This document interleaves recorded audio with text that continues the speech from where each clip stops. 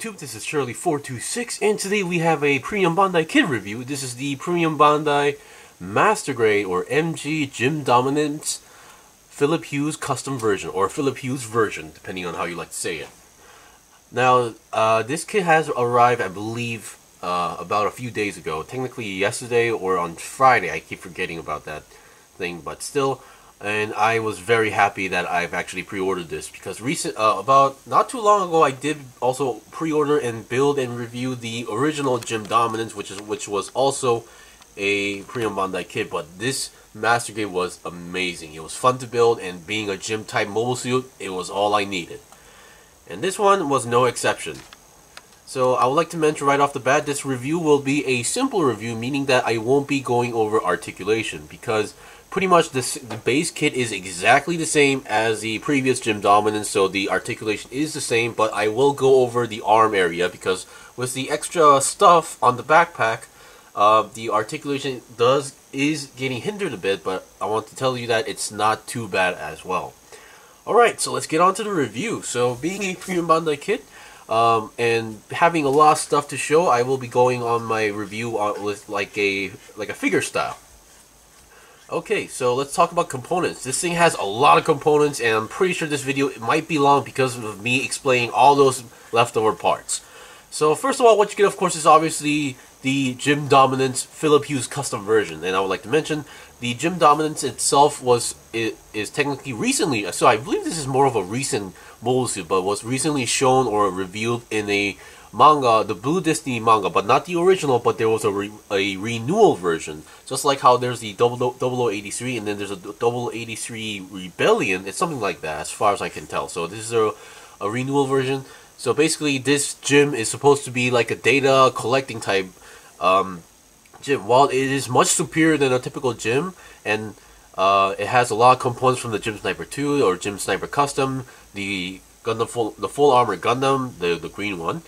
Uh, so this thing was not mass produced. There's only there were only a few uh, developed. So this one was mainly purposed to get gather data for developing other mobile suits.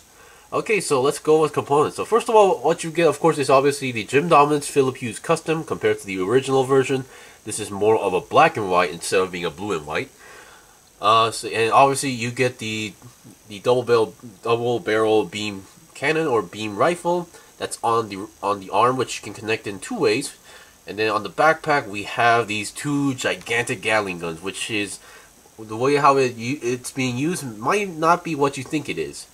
And then other than that we have the beam sabers one on the side the left side. There is actually a beam saber handle on the side. And then if you look at the arm we have these parts uh, which are called the box beam sabers which you can actually attach a beam saber effect part on and then let's talk about components. So first of all, what you're supposed to get, number one is a water slide. Yes, most master, premium Bandai uh, master grades do come with water slides.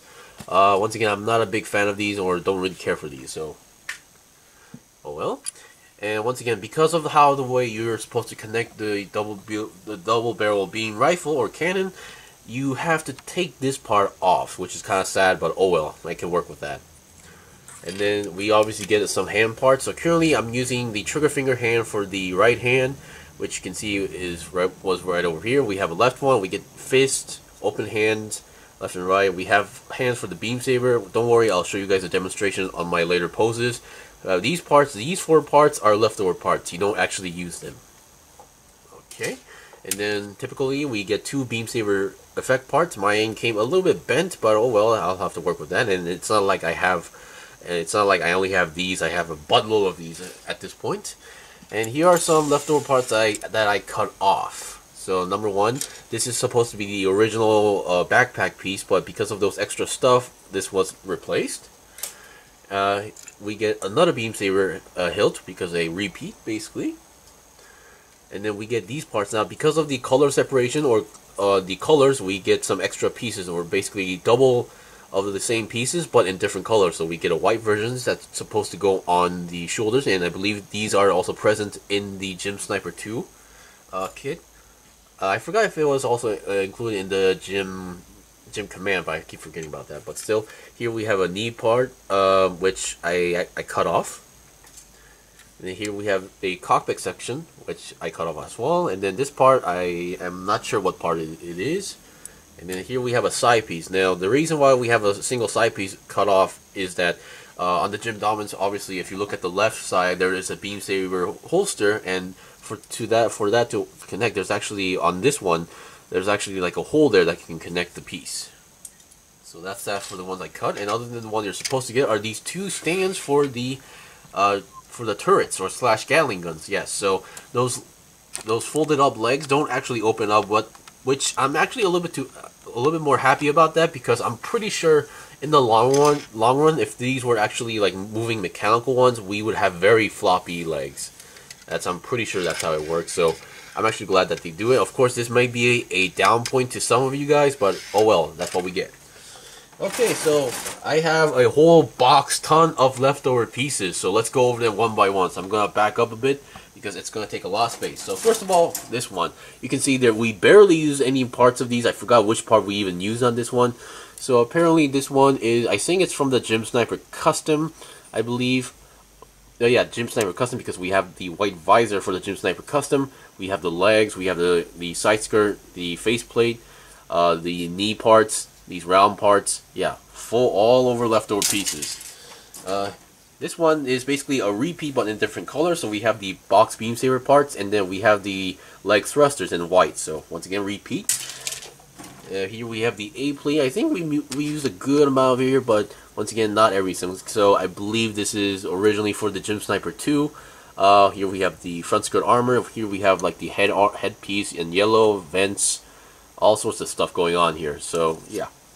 So I, I did mention this on my GM Dominance review video that because this Master Grade is really a mixture, when it comes to pieces, it's really a mixture of the great Master Grade GM type kits. So like the GM, I, am not sure if the GM 2.0 is included, but considering all the base, like the inner frames were that had some parts of the GM 2.0 that should be included. The GM Sniper 2, the GM Sniper Custom, the GM Command. So we have a lot of gym mixture of gym parts in here. So here we have this one is supposed to be for the GM Sniper 2, I believe, uh, according to the plate. So we have some inner frames for, for, the body, cockpit, front skirt, a body, so and an extra trigger finger here, which I believe this was more specifically meant for the, the, the sniper rifle. And here we have another one for, I believe this one's the GM Sniper Custom. Here we have the shoulder armor, uh, inner, inner frame, we have the head, front skirt, the waist section, the leg armor, the front um, face, all, all sorts of pieces.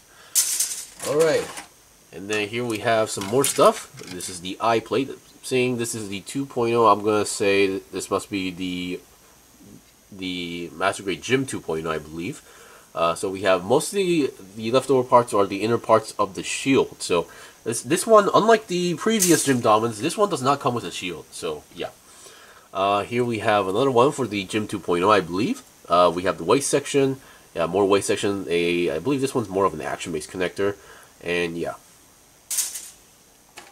Okay, so there's, as you can see here from the box, there's a lot. So we, here we have another repeat of the white piece, the box beam saber, the the leg thrusters, and let's see what we have here is a B2, I believe.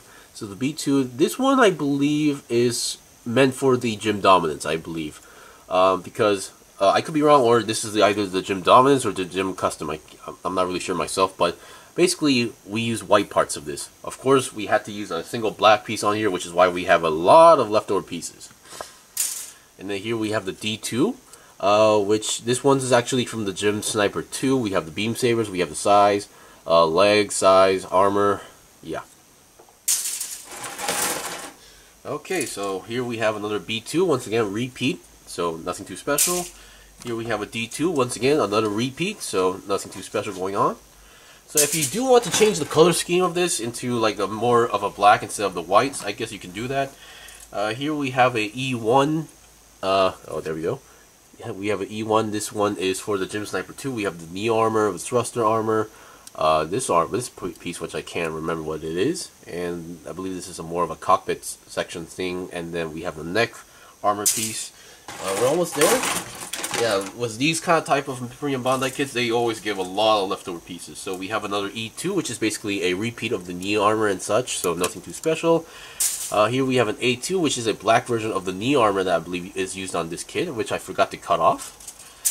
Uh, here we have a B armor, which is, I believe, for the GM Sniper 2. We have the neck, the upper neck section, and then we got the body, the cockpit section, nothing too special.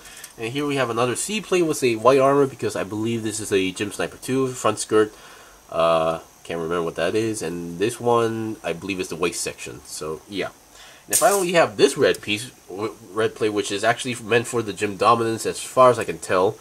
Uh, here but the cannons are supposed to be, or beam rifles are supposed to be gray, so yeah, I believe these are mostly meant for the cockpit section because there was a red piece, and on the crotch section there was another red piece, which is why we get this. But if you want to, I don't know, add some red to your kit, be my guest. And that was pretty much it for all the leftover pieces. That took a long time, but now let's get into the review. Alright, so I'm going to get off the stand and talk about changes. So obviously, as I mentioned, this is from the new Blue Destiny manga, and there is technically, this variant I was not expecting. I haven't watched the manga yet because there is no Korean version yet, and I cannot get the Japanese version in Korea for some reason. So I'm still waiting for a either English or an official uh, Korean translation so I can read them. Uh, so obviously, let's talk about changes. So the the base kit or build is exactly the same. There is no change in the build as far as I can tell. The only difference is the color swap. So, yeah, and I absolutely love, love this Master Grade kit, and I'm really hoping, according to the wiki, there is a underwater equipment, aquatic equipment version of the GM Dominance in the blue version. So I really hope they also go for that. So if you look at the back, now we can see some changes. Obviously, we have extra stuff on the backpack eh, for obviously the Gatling guns and the holster for the Gatling guns, which is actually connected in the middle of the backpack. So if you look at the backpack, there's supposed to be a connector you're supposed to see here, but it's currently covered up by the holster. This one actually has a different connector in the inside, so which is why we don't see anything. And on the back skirt, because of those stuff, the bazooka holder has been uh, has been taken out. Of course, I don't think the the GM Dominance did come with a bazooka, as, as far as I can remember. So yeah, that's pretty much it for the comparison. Now let's talk on the shoulder articulation. I would like to talk about the shoulder articulation. So, number one, because all this stuff going on here, the way how the holsters are connect. So I'm going to take out a, a Gatling gun for now. So the way how this works is that this thing can actually open, close and open like this. And then it can actually lock into place with those extra teeth and pegs going on here. And what while you can, well technically you can just now pull it pull it up. What the manual tells you to do is to basically move this section to the back a little bit so you can pull it out without you know colliding with anything. Come on. There we go. And then you can close it up. And yeah if you want to reposition that you can do that yourself. So basically without the Gatling gun this is how it works. So basically at the back of the shoulder this thing exists. This is coming out from the backpack. So because of this when you're trying to rotate the shoulder armor it, this thing can actually collide with here which is kind of bad. But if you're close, if you're careful enough, you can move the shoulder a little bit more to the front and then work your way around by rotating the arm. So that's how you're supposed to work with this one. Uh, so if you are kind of curious with the full articulation regarding the GM Dominance, you can always check my review for the for the previous GM Dominance review. I'll leave a link on the description below. So that's the only tricky part about that section. Okay, so now let's talk about Gatling gun. So since I did take one out, let's see how this works. So I can't say there's an articulation on this, but there is. This is basically the folded up version. So if you want to it to be opened up or be look like it's actually being activated, you can move it like this, and there we go. And while doing this, this reveals like an ammo belt or something like that to reveal. So and then this section is the legs where it's, it's supposed to stand. So this one is just a single piece, or technically two pieces slapped together. Um, you take this part out and you get one of those stands and then all you need to do is just reconnect the piece that you just taken off from. And there you go. Of course, this thing does not rotate on its own, so yeah. So I think they did a pretty good job on the design of the Gatling gun, but I don't think they didn't pay too much attention to the movement of the Gatling gun itself because I think that would increase the price. And if you're curious, yes, you can actually rotate uh, the Gatling gun. Of course, uh, I might need to actually sand in some pieces in there because it's only rotating in one direction for me. So yeah. So if you're one of those techie guys that can motorize everything, this might be a good challenge for you guys. Alright, so we've seen the basic stuff. Uh, so I'll be right back with the first set of poses slash equipment. Okay, here we have the first set of poses. So as far as I know, or I can understand by looking at these Gatling guns, is that they are supposed to be either automated or remote control within the cockpit wirelessly. I'm not sure how the wireless technology is advanced in the Universal Century at this point, but still, uh, it's either one of those two that so so he would run around and then drop these Gatling guns on the ground, which would I would assume you know firmly connect to the ground and start firing at an enemy, while the GM Dominance can move around and you know add extra firepower. So uh, one thing I would like to mention regarding the promo pictures was that this thing could do some sort of kneeling pose with this. Problem is, I tried doing that. Problem, but the front skirt armor does not move much, and in that thing, that was moving up more than 90 degrees up up front, and I have no idea how that's done. So yeah, unless I've done something wrong with my kit, I wish I could do that. But still, that's one missing aspect. So yeah, and one thing I should mention, um, compared to the original one, this thing is, can be feeling a little bit back heavy because of those extra stuff going on here, or it could be just the feet structure, is that every time I try to do a certain pose, it's always that wobbly feeling onto that thing. And regarding the turrets, is that uh, this back, these two legs are the same, and then the third one is actually a different design. So these are supposed to ones that has to go to the back, but even though if you wanted to have it in front, it's not, it's impossible because the way how the pegs work is that it's in a specific shape, so you can only plug in it in in a specific way at the same time. And always keep in mind that once you're going to display this, always have them opened up to show reveal the belt. And this will actually, this thing is actually a separate piece, so I think this would also give some opportunity for those who love to color these kind of stuff of weapons. Or modify it to make it hold it, but yeah, that's up to you. But this, the way how this is work is supposed to be working is that it's supposed to be firing on its own, not to be held, and there is no handle to hold it onto the mobile suit. I'd like to mention that. Alright, so we're done with the first set of poses. Let's go with some other stuff in regarding the beam rifle as well. So I'll be right back. Okay, uh, let's talk about the double barrel, double barrel beam rifle or beam cannon. Now this pose might be a more of a reference to the final shot, but not on this version, but when the previous version of the GM Dominance, one of the promo pictures or poses on the promo pictures was one of these, kind of a this kind of a pose. I can't remember the exact pose, but it was something like this. I, I think it was mostly to show like the articulation regarding the shoulders.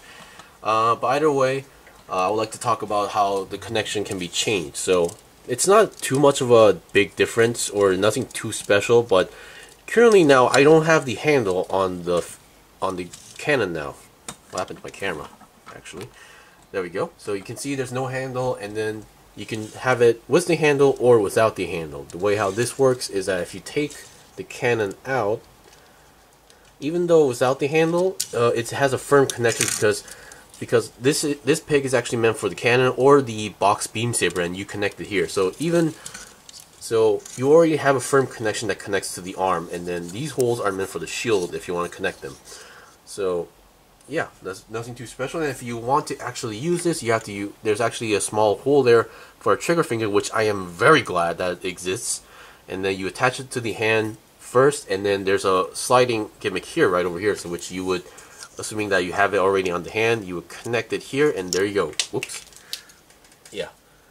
So I don't, so the connection, the sliding connection itself is not too strong, but still it gives extra support, or technically you're supposed to yeah, slide it in a little bit more. I think I didn't slide it enough. So yeah, this is how it works. All right. So yeah, if you're if you're having trouble with actually holding the handle, you can just always plug plug the cannon in, and you're always good to go. All right, so now we're done with the cannons. Now let's talk about the beam saber. So I'll be right back. Alright, so here we have the last set of equipment slash pose. So currently I'm using the dou double beam saber, but one on the box beam saber and the other one with the beam saber hilt that was on the side. So currently I even have the Gatling guns back stored in the backpack to just show you guys basically even though the it does hinder the articulation only a little only a little bit so if you know your way around, you can still work out pretty well. So currently, so for so for to do this, I took out the beam, the double barrel beam cannon, and replaced it with the box beam saber. The way how it works is that you just connect it to the basically inside there. Unlike, I believe it was the GM Sniper Custom, which uh, you were supposed to put some sort of beam saber hilt inside here. That's not the case for this one. You just have a square uh, thing, and then you have a round hole there. So you, all you need to do is just plug it in, and there you're good to go. Uh, regarding the other uh, beam saber hilt, um, for this hand, this is one of those hands that where you have to swap out the fingers. Uh, it does hold it, but not too firmly for some reason. So it's kind of sliding. It kind of just slides out on its own. So yeah, and mine's a little bit bent at this point. And as I mentioned regarding the head, uh, being more, the head is more being based on the GM Sniper 2, uh, which is which means you have a nice visor to cover up the the actual visor. And this time there's no stickers involved, just pure uh, green clear plastic. And just be careful with the antenna because I think the antenna is like the most fragile part of this kit, I think. And that's pretty much it for the review. So definitely, definitely one of the best gyms out there, or Master Grade gyms, or the cool looking gyms out there. Uh, there are also a lot of other Master Grade gyms that are very top-notch quality to try out. So if you haven't tried those out, you can try those as well. But if you're also interested in this, this is definitely a buy. Of course, if you don't really care for the Gatling guns, you can always search for the previous GM Dominance, which is basically the more basic version of it. But anyway, thank you for watching the review. This was the review of the Premium Bandai exclusive or P Bandai exclusive Master Grade GM Dominance Philip Hughes custom version. And if you guys got any questions or requests, leave a comment below. I still have more stuff to buy and build and make reviews of, so please stay tuned. Until then, see you guys next time.